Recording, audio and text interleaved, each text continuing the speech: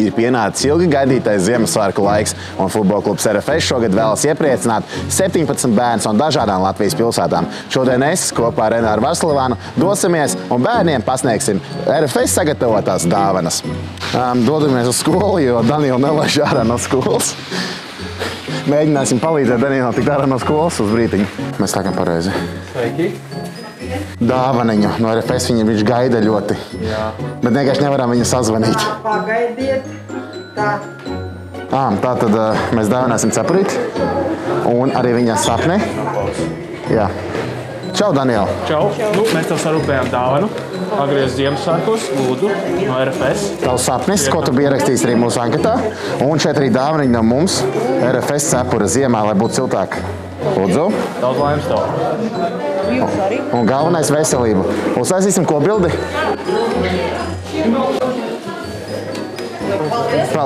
Paldies jums! Visu labu! Priecīgas svētkus! Visu labu! Zvanām mēs nākamajam puisim, kurš ļoti vēlējās Jagodīnska kraklu un arī futbola bumbu. Vladislavs pats spēlē Rīgas futbola skolā, un viņa sapnis bija saņemt Jagodīnska kraklu un futbola bumbu.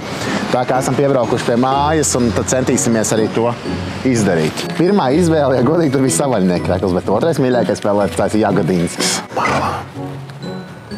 Čau, Vlad! Čau! Kā tu jautāji, futbola bumba un Jagadījums krekls. Tu pats arī esi aizsargs? Jā. Jā? Super! Super! Paldies un priecīgs Ziemassvētku, laimīgu jaunā gadu! Brauksim uz jūrmālu ciemos pie, pie, pie, pie Kārļa. Un tur ļoti Kārlis vēlās Emersona kreklu un arī futbola bumbu. Halo, halo sveiki, Kārl, te Gins patrauciet no RFS. Mēs esam, pie, mēs esam piebraukuši pie skolas, mēs esam tā kā iešpagalmā pie garāžām, laikam, kur ir ārā arī zupu vāra. Jā, super, te mēs nākam ideāli. Jā, paldies. Čau. Nu, mēs tev sagādājām dāvanu no RFS. Tas, ko tu vēlējies, tieši Emersona krekls ar bumbu. Es arī futbols esmu. Nu, kādreiz trenējos, bet šobrīd tieši man, man patīk, ka spēlē uzbrukumā. Ir māja kustība. Sako futbolā, futbols ir foršs. Čau. Tas paldies. Bet uh, nākamais mērķis mums būs Sebastians. Puisis, kurš vēlās 38. izmēra bučus un vārdsarga 108. izmēru. Jā, redzam, mums māja. Sebastians, jā. Eku riglīte. Jej! Čiekuriņi. Ā, daudz dažādas čiekurus attaisīt. Super. Prieks tev redzēt. Laba diena, kā iet? Labi iet. Mēs tev vēlējāmies uz Ziemassvētkiem tavu sapnīti piepildīt. Skaties, ko mēs tev dabūjām. Vai ir īstais? Jā, Jā, paldies. nu, droši ņem, tas tev. Jā, un šeit arī eh, futbola kluba RFS cepure. Lūdzu, kur tu pats spēlē futbolu? FK Tukums. Super. Nākamgad būsiet cerams, ka virslīgā ar lielo komandu. Ceru, ceru ka tev patiks, jā? Ja? Super, paldies. Čau. Lai priecīgi svētki. Tu, FK Tukums. FK Tukums. Braucam uz Bausku. Jā, jā, viss labi. Tā tad atvedām ragavas pusotra gada vecai meitenītei. Māma ļoti vēlējās, lai tādas būtu, jo lai izbaudītu bērnam ziemas priekus, kas Latvijā cerams, ka būs pavisam drīz. Čau! Da! Da! Čau! Da! Taki da! Čau! Da! Tā mēs varbūt tur malā kaut ko no... Jā. Jā. Lai es mierasīšu cilvēku un tad iemesīšu. Super! Ko lai mēs jums sakām, lai jums tiešām priecīgi svētki, Jā. lai sniegoti un pirmkārt veik galvenais veselību šajā laikā. Nu, galvenais, ka šitam ir veselība. Jā, lai tev forši ziemas prieki ar ragavām laisties lejā no kalna. Jums jau tāpat forši lai laisties lejā. Esam atbraukuši uz Īslītu, uz Rītālsmām, un šeit mums ir dāvaniņas divām mazām meitenītēm. Abām ir seši gadi, abi mācās bērnu dārzā, tā kā sagatavošanas, laikam jāsaka, tagad pareizā pirmskolā. Un dāvāsim meitenei vienai skūteri, otrai arī dažas dažādākās lietiņas, gan krāsošanai, gan līmēšanai un tam līdzīgi. Un tad ir... Ho, ho, ho, ho, ho. Jā. Laba diena. Mainīsimies ar dāvaniņām.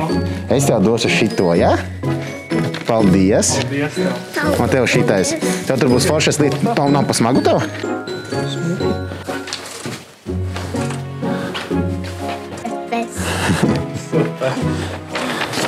Es, es palīdzēšu, ja?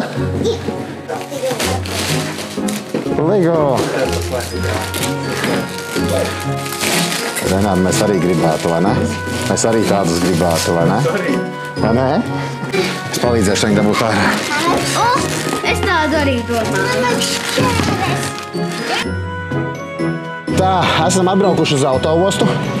Ir jāsaka, ka viena no ģimenēm dzīvoja tiešām ļoti tālu, kas ir Budberga, gan Bauskas pašā galā pie Lietuvas robežas. Laika trūkuma dēļ sa sagaidīsim tēti šeit autoostā, nodosim trīs dāvanas viņam, lai aizved mājās pie, saviem, pie savas ģimenes.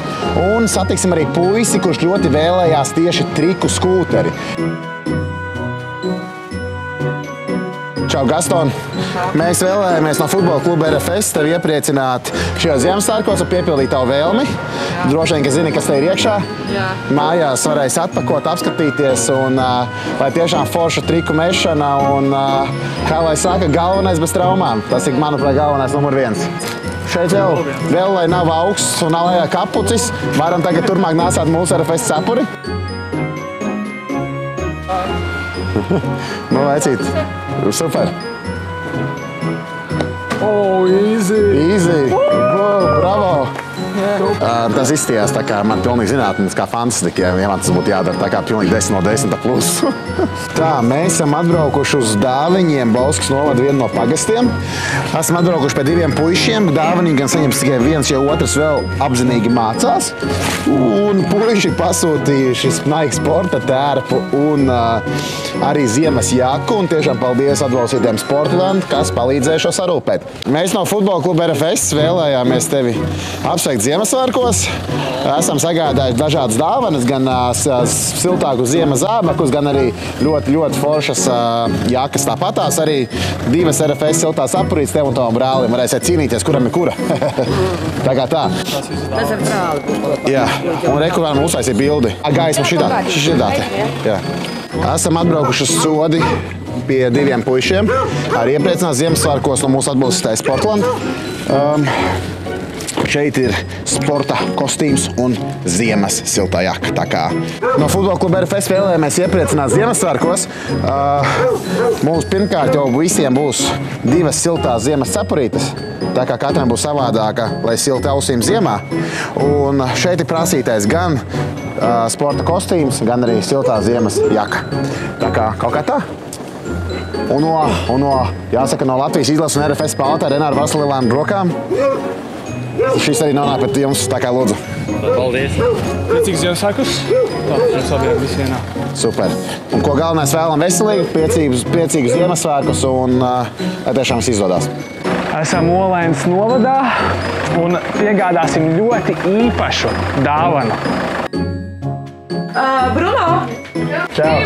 Tāpēc, yeah. Čau!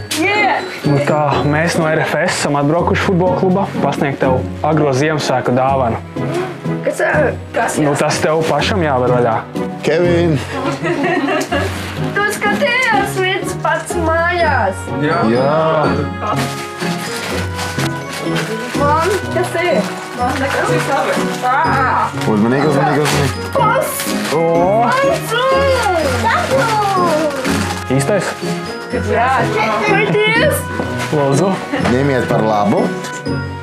No mūsu futbola komandas jums abiem diviem brašuļiem ir ā, cepures. Varat pat pacīksties, kura būs kuram. Ap divas dažādas krāsas. Tā kā! Ideāli! jā, O, super!